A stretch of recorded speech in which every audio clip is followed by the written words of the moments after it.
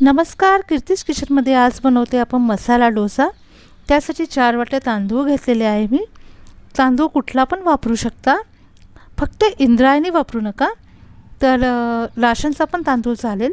तर चार वाट्या तांदूळ दोन वाटी उडदाची डाळ आणि एक वाटी चणा डाळ आणि अर्धी वाटी तुरीची डाळ. हे परफेक्ट प्रमाण आहे. मसाला डोशाचं. याने आपला डोसा तव्याला अजिबात चिटकणार नाही आहे जरी तुमचा तवा लोखंडाचा असेल तरी पण आणि एकदम क्रिस्पी बनणार आहे आपला डोसा. तर हे जे सगळे सगळं आपले तांदूळ डाळ मी दोन तीन पाण्याने स्वच्छ धुवून घेतलं जोपर्यंत आपल्याला आरपार तांदूळ आणि डाळी दिसत नाही. तर भरपूर पाणी टाकलेलं आहे. तर हे आपण आता सात ते आठ तास भिजायसाठी ठेवूया.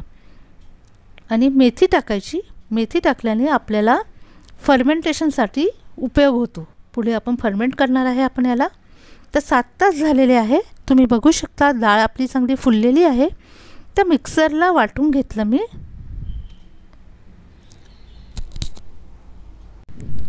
तर त्याची कन्सिस्टन्सी इडलीचं आपण जसं बॅटर वाटतो तशी पाहिजे. जास्त पतलं वाटू नका नाही तर फर्मेंट होणार नाही. तर मीठ टाकलेलं आहे.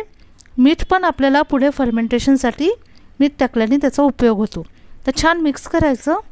आणि पुढे मी हे याच्यामध्ये एअर यायसाठी ब्लेंडर वापरलेलं आहे. त्या ब्लेंडर फिरवल्याने काय होतं की लवकर एअर त्याच्यामध्ये जाते आणि छान फर्मेंट होतं आपलं मिश्रण. तर तर आपले बारा तास झालेले आहे. ओव्हरनाईट ठेवलेलं होतं मी. तर बारा तासांनी आपलं असं झालेलं आहे. तुम्ही बघू शकता छान फ छान फर्मेंट झालेलं आहे. आपलं मिश्रण. पण हे डोसा करायसाठी खूप याची कन्सिस्टन्सी योग्य नाही आहे कारण की खूप जाड आहे ते मिश्रण तर त्या त्याला त्याच्यामध्ये आपल्याला पाणी टाकावं लागेल. तर आपण थोडं पाणी टाकूया. आणि मी थोडं मिश्रण बाजूला एका भांड्यात काढून ठेवलेलं आहे. जेवढ्याची गरज आहे तेवढंच मी घेतलेलं आहे. आणि दुसऱ्या याच्यात मी पाणी ॲड केलेलं आहे. तर ही कन्सिस्टन्सी तुम्ही बघा ही बरोबर आहे. याने डोसा आपल्याला व्यवस्थित टाकता येईल. तर आपलं डोशाचं मिश्रण रेडी आहे. तर आता आपण दोशासाठी चटणी बनवूया. तर मी चण्याची डाळ भिजत घातली होती. एक वाटी. ते एक वाटी चण्याची डाळ. मिरच्यांचे तुकडे टाकले आहे कितपत तिखट पाहिजे आहे. दोन तीन लसणाच्या पाकळ्या थोडं अद्रक कोथिंबीर आणि साखर आणि मीठ. हे सगळं मिक्सरला टाकायचं. मीठ टाकलेलं आहे आणि साखर पण टाकायची. तर एक वाटी चण्याची डाळ होती तर मी एक वाटी ताक घेतलेला आहे. हे आंबट ताक आहे माझं. तर जर तुम्हाला चण्याची डाळ वापरायची नसेल तर तुम्ही शेंगदाणे खोबरं डाळवं काही पण वापरू शकता. तर मी इथे चण्याच्या डाळीचा वापर केलेला आहे. तर मिक्सरला फिरवून घेतलेलं आहे आणि अशी पाहिजे कन्सिस्टन्सी जास्त पेस्ट नाही बनवायची अशी थोडंसं रवाळ टेक्स्चर ठेवायचं. तर आपण याला तडका देऊया.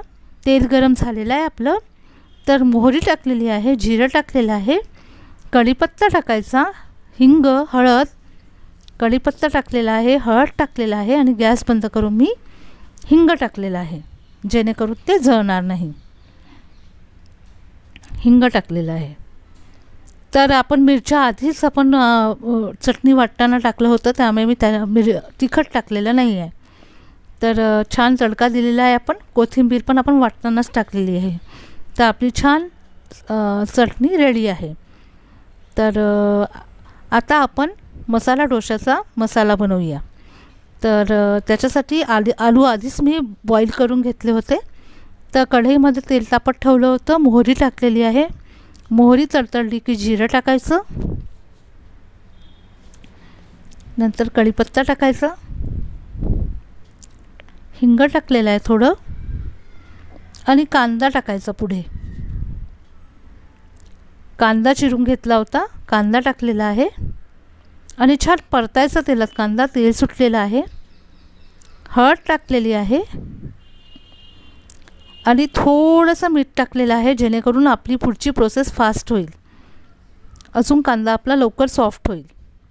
तसा कांदा झालेला आहे पण मीठ टाकल्याने अजून पुढच्या प्रोसेस फास्ट होतात.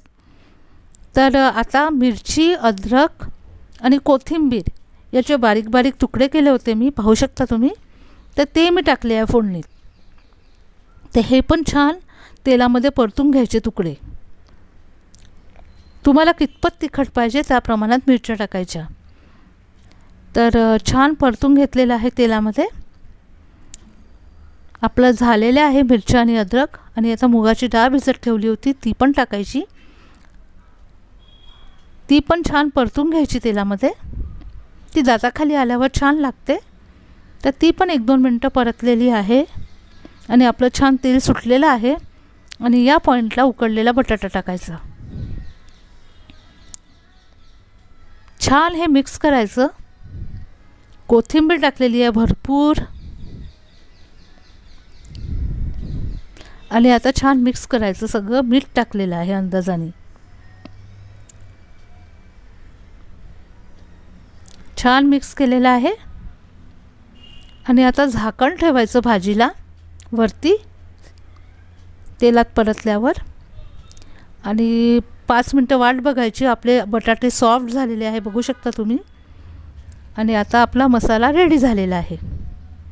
मसाला डोशाचा तर आता आपण डोसा करायला घेऊया. तर कुठला पण तवा तुम्ही नॉनस्टिक करू शकता. तर तव्यावर एक चमचा तेल टाकलेला आहे. आणि अर्ध्या कांद्याच्या वरचा पोर्शन जो असतो देठ तर त्याने पूर्ण पसरवून घेतलेलं आहे तेल किंवा लिंबाच्या फो फोडींनी पण तुम्ही पसरवू शकता. तर छान पसरून घ्यायचं टिश्यू पेपरनी पुसून घ्यायचं आणि आपलं नॉनस्टिकसारखा वर्क करतो मग तवा. तर टेम्परेचर लो करण्यासाठी पाणी शिंपडलेलं आहे. तर मी एक डाव घेतलेला आहे डोशाच्या बॅटरचा आणि तो फिरवायचा. गोल गोल गोल गोल. हा डोसा तुम्ही किती पण पतला करू शकता. माझा भरपूर मोठा तवा आहे. तर मोठाच डोसा केलेला आहे मी. तर ड्राय झालं मिश्रण की सगळीकडून तेल टाकायचं. तुम्ही तेल किंवा बटर काय कशावर पण शेकू शकता हा डोसा.